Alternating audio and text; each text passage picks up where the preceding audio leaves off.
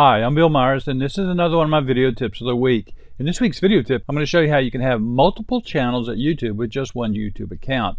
This can be useful if you have videos that follow different topics or you have different audiences that want to watch those videos or if you don't want to mix some of your personal videos in with your business videos. It's pretty easy to do. Now what you'll want to do is go to YouTube and then log into your existing account and then once you get to your existing account, enter this URL and the URL is youtube.com channel switcher and then press enter and that'll bring up a page that says use YouTube as. Now if you have one channel it just shows you the one channel. You can see that I have two.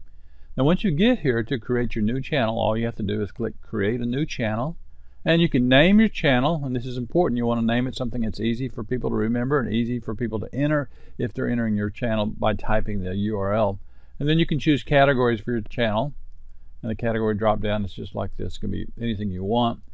New channel comes with a Google Plus page and then you put a check here where it says I agree to the page's terms and click done. And when you do, you'll have a new YouTube channel.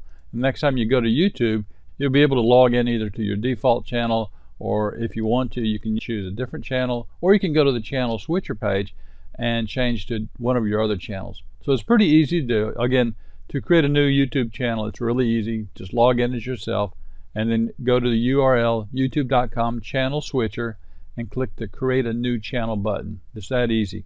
Anyway, I thought you might be interested in knowing how to do this. I'm Bill Myers. This has been another one of my video tips of the week. You can find more like this at www.bmyers.com.